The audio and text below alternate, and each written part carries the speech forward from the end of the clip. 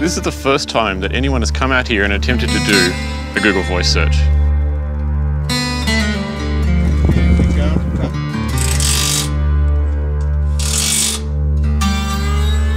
Perfect, dead on.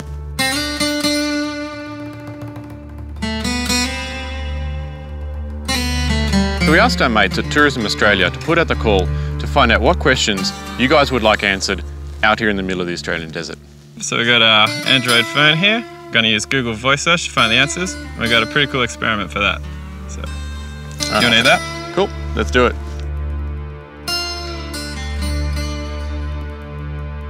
Charlene Palmer wanted to know how to treat a brown snake bite. So James, you ready? Yep, we can do that. In three, two, one. How to treat a brown snake bite.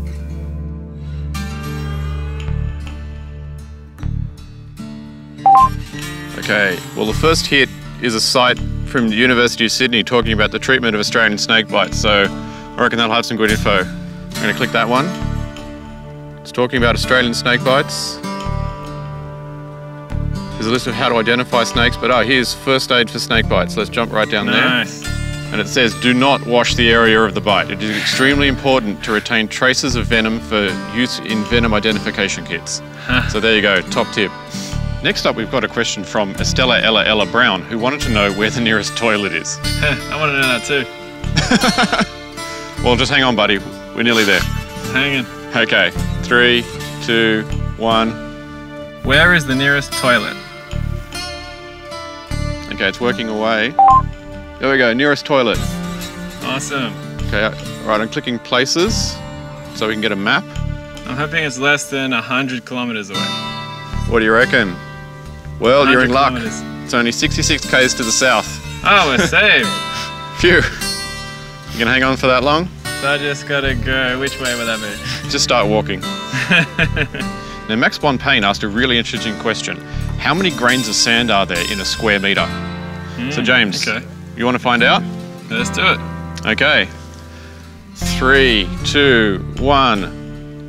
How many grains of sand in a square meter? All right, the search is going off. Bingo. How many grains of sand in a square metre? So I'm guessing a lot. Yeah. Was a good one here about how many grains of sand are there in one square inch. We could probably work convert this and work it out. The answer's coming up, and they reckon there's 4,500 grains of sand in a square inch. So I'm going to need a calculator for this. So I'll pull up the calculator. So Use the thing that's 4,500. Do you know how many square inches in a square metre? No idea. Fortunately, it's 1,550 equals just on 7 million. That's a lot of sand in a square metre. Yeah, that's that's about what I would have guessed. Mate, that went pretty well. Yeah, we got some pretty good Google Voice results. Yep, so thank you very much for your questions. Yeah, we'll catch you next time.